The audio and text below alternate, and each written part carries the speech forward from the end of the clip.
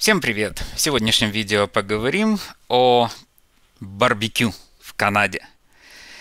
А, барбекю безумно популярно в Северной Америке, и неудивительно, что оно популярно и в Канаде. Одна из причин, с моей точки зрения, и почему я люблю делать мясо на гриле, это с скажем так, не очень высоким качеством продуктов непосредственно в Канаде. И когда вы его делаете на гриле, но мясо приобретает хоть какой-то вкус. Ну, хоть какой-то. Но не будем о печальном. А, поговорим что предлагается в магазинах, что бы я рекомендовал, в чем различие э, между барбекюшницами, как что делается и прочие-прочие нюансы. Еще раз, этот выпуск такой немножко развлекательного плана, э, больше для понимания, как, как мы здесь живем. Итак, э, барбекюшницы можно купить в таких магазинах, как Рено Депо, Рона Депо, Ловес, тот же Home Депо и тот же Костка. Абсолютно во многих. И здесь сразу можно видеть, что есть несколько основных видов барбекюшниц. Пробежимся и коротко я поделюсь моим личным опытом. Еще раз, он может быть неправильный. Поправьте меня, если что не так в комментариях. Не претендую на объективность. Все, что я говорю, исключительно мое личное мнение. Итак, барбекюшницы здесь можно купить, исходя из типа. Это у нас э, стандартные угольные, это у нас пилетные и газовые. Это три наиболее популярных. Еще есть Камада, и есть, есть электрические, и есть портативные. Ну, портативные это уже по размерам, а э, Камада и электрические это все еще типы, но они менее популярны. Сейчас пройдемся по всем из них. Опять-таки очень коротко. Начнем с самых классических. Опять-таки наше видео ориентировано на жителей Восточной Европы там безумно популярны мангалы. Они пришли, как я понимаю, откуда-то с Кавказа или с той части и используются, конечно, на шашлыки. Святое дело, майские шашлыки, аппендицит операция. Ну, это шутка. Тем не менее, шашлыки очень популярны, для этого используются мангалы. В мангалы ставим дровишки и делаем замаринованное мясо там с колечками лука или без него и прочие-прочие рецептов моря, что вкуснее, что лучше, у каждого свое мнение. Наиболее близко к этому это вот сейчас перед вами вот такая классическая барбекюшница.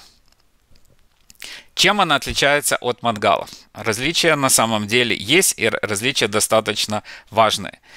Возьмем Weber как одна из самых-самых известных и раскрученных брендов, которая годами это делает. Итак, если вы не закрываете крышку, перед вами мангал. Если вы закрыли крышку, перед вами барбекю.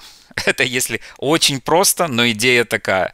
Мангал не закрывается, барбекюшница закрывается, что дает намного больше возможностей в приготовлении мяса. В отличие от мангала, снизу барбекюшницы есть специальные э, механизмы, с помощью которых вы удаляете продукты сгорания, там пепел и прочее. Очень удобно. С помощью закрывания вот здесь на крышке отверстий снизу, и такие же есть снизу. Вы регулируете подачу воздуха, регулируя подачу воздуха, вы регулируете температуру, и опять-таки на крайний случай вы можете просто открыть. Плюс в крышке есть термометр. Плюс полно термометров, которые вы можете купить дополнительно, дистанционные, недистанционные, любые. Но основной смысл это приготовление э, на, можно сказать, живом огне. И в качестве топлива используются здесь два основных. Брикеты и э, непосредственно э, это дрова, специально приготовленные. То есть брикеты или дрова. Кулек это порядка 8 килограмм, стоит грубо 20 канадских долларов. Опять-таки на этих сайтах вы можете найти. Веберовская 22 дюйма диаметр барбекюшница обойдется, как вы видите, порядка 200 долларов. Есть варианты дешевле. Здесь опять-таки вы видите веберовский термометр, вот он сейчас по скидке, ну и прочее, и прочее. Какие плюсы таких барбекюшниц? Это самый лучший вкус, если сравнивать с любыми другими типами, это мое личное мнение. Это большущая гибкость. В такой барбекюшнице можно делать практически любые рецепты, включая копчение. Да, как ни странно, но можно ухитриться и сделать. То есть и плюс при наличии определенных аксессуаров, если кому интересно, мы их рассмотрим отдельно, можно значительно расширить возможности барбекюшницы, вплоть до того, что есть аксессуар, который ставится на здесь при открытой крышке, и там вращается курица сама с помощью двигателя, и это не очень дорого, меньше 100 долларов такая штука стоит. Э, и те же шампуры сюда можно купить, ставить, и, и, и кучу в два ряда, в два этажа можно ставить, делать пиццу, специальные керамические поддоны, море, просто море возможностей, которые здесь можно делать. Э, не будем сейчас говорить о режиме low-slow и прочее, прочее. Итак, минус. Минусы, конечно, тоже есть.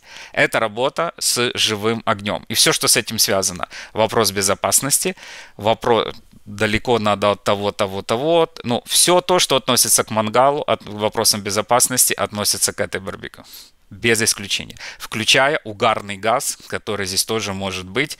То есть ни в коем случае нельзя в помещениях и прочее, прочее, прочее. А сейчас еще раз, все то, что мы говорим о мангале, спокойно применяется здесь. Следующую рассматриваем барбекюшницу. Ой, это мы залезли немножко в другую тему. Итак, следующая барбекюшница, которую мы рассмотрим, это у нас... Это у нас будет пилетники. Что такое пилетники? А, барбекю известно очень давно.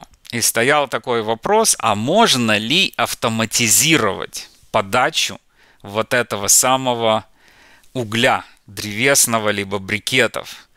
И как вариант такой модификации придумали пилетники.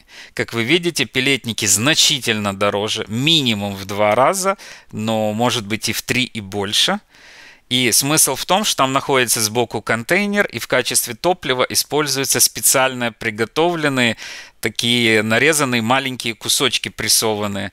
Это так называемые пилеты.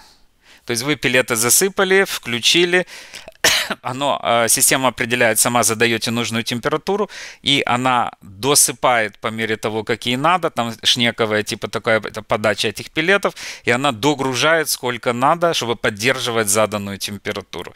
То есть своего рода полуавтоматизация.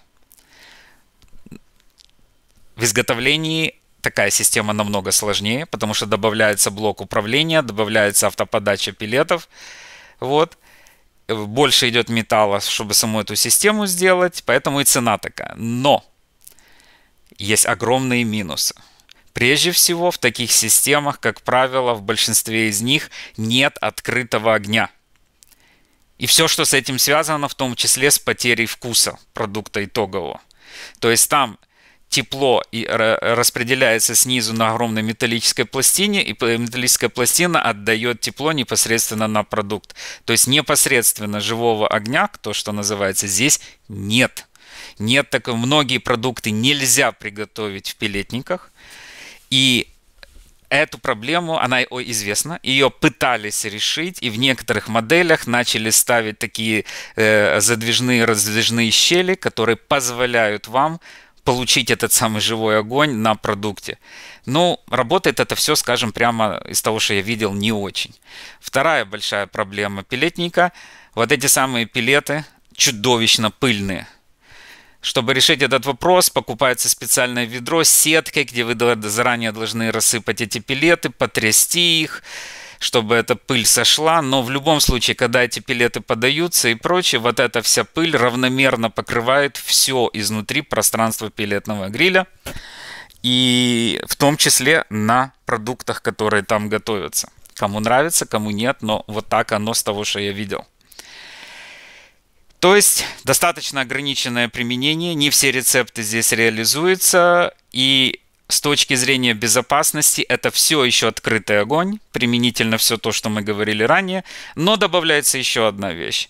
Раньше были известны случаи, когда вот эта система, э, которая подает пилеты, срабатывала не очень хорошо, и огонь попадал по вот этому желобу шнеку подачи пилетов, попадал вот в эту основную камеру. И что происходило? Правильно, это все загоралось это вообще невозможно в стандартной, стандартной барбекюшнице на угольном гриле. Это дополнительная опасность, которая есть у пилетников. в дальнейшем конструкции были улучшены и прочее, прочее. Ну, дело такое. Опять-таки, на любителя. Лично мне я пробовал, я работал с ними, мне не очень понравилось, я не смог оценить достоинство данного типа э, барбекюшницы. Следующий это у нас газовый. Открывать не буду. Они, в принципе, вот наверху. Пропановые бывают двух типов. На натуральном газе и на пропане. Ну, по большому счету, это просто, ну, если очень упростить, все-таки канал Simple Canada, это, по сути, просто газовая плита, которая стоит на улице. Не больше и не меньше, но которая закрывается сверху крышкой. Соответственно, все плюсы и минусы готовки на газе здесь есть. Нет такого вкуса, как на классическом э, угольном гриле. Абсолютно. Удобно быстро готовить, да, потому что не надо э, очищать перед каждым разом, выкидывать пепел, золу и прочее, прочее, то, что связано с угольным грилем. Легко держится температура, да, и громадный минус при сгорании газ, как правило, добавляет пары влаги, соответственно, и сам продукт немножко по-другому готовится. И, само собой, все рецепты, которые годятся для классического угольного гриля, здесь сделать просто нельзя. Еще раз, по большому счету, это просто газовая плита, которая есть в Восточной Европе с крышкой. Точка. С точки зрения безопасности. Лучше, чем э, угольная, с одной стороны, опять-таки, это газовая плита, и она по правилам даже может стоять в доме, но в моем видео, смотрите в описании, я буквально вот здесь, в Монреале, два дома с разницей в один год, огромные пожары бушевали из-за вот таких барбекюшниц. Они стоят по правилам на улице, на балконе. Это были верхние этажи. Лето, жара, не знаю, что там произошло, но, судя по тем слухам, что циркулируют, взрывались газовые баллоны. Взрыв газового баллона на третьем этаже. Дома здесь сделаны ну, из, из того самого и палок. Моментально все возгорается. И, по сути дела, полдом, полдома надо заменять и строить заново. Естественно, с обычными дровами такого случиться не может ни на каком солнце температура не будет достаточно, чтобы в пакете воспламенились брикеты или, допустим, трава. Я такого, честно говоря, никогда не слышал. Поправьте меня, если это не так. В случае газа дополнительная опасность, увы, есть. Третий. Электрические. Электрические барбекюшницы. Ну, это, с моей точки зрения, достаточно смешно. Почему это назвали барбекюшницы? Это обычная плита, точнее э, под плитой духовка. Точка. Только в худшем варианте еще без вентилятора. Это просто электрика, которая закрывается, электрическая готовка. И когда там наши блогеры, там, по-моему, в Ванкувере гордо показывают, как они делают барбекю на балконе на электрической барбекюшнице, ну, ребята, ну, ну, с таким же успехом вы можете поставить это в духовку и получить результат быстрее, лучше и вкуснее. Потому что там еще можно выбрать режимы конвекции и прочее, чего на вот этих вот маленьких электрических просто нельзя сделать. То есть назвать эту барбекюшницу можно очень условно, только потому, что вы можете вытащить это на балкон и гордо сказать, а я сделал здесь сосиски, и они ребристые, потому что вот вы его поставили на вот эту ребристую поверхность и закрыли крышкой. Ну, ну как бы ни вкуса, как говорится, ни цвета, ни запаха. И команда очень специфически рассматривать не будем. Опять-таки, очень дорогой и с кучей своих вопросов. И что касается, здесь тоже достаточно популярные для копчения устройства, но они не настолько распространены, чтобы их обсуждать с одной стороны, а с другой стороны, практически все эти рецепты большей частью можно сделать на стандартной барбекюшнице. Это что касается, что называется, hardware, то есть что касается оборудования. Что касается непосредственно продуктов. Продукты для барбекю здесь летом буквально повсюду. Были бы деньги – есть специальное мясо, уже готовое с нарезкой. Э, есть э, море, ну я вот пробовал, пользовался, наверное, штук 20 различных маринадов и соусов к барбекю. Некоторые реально очень хорошие. э, есть прочие различные устройства, добавки к стандартным барбекюшницам, которые позволяют просто сделать более разнообразным этот процесс и получить какие-то новые вкусы. То есть это именно раздолье, и это во многих случаях рассматривается как возможность собраться друзьям, собраться семье и получить э, удовольствие. Скажем так, барбекю это не только накушаться, но еще получить удовольствие. Вопросы, предложения, замечания пишите в комментариях. Всем спасибо.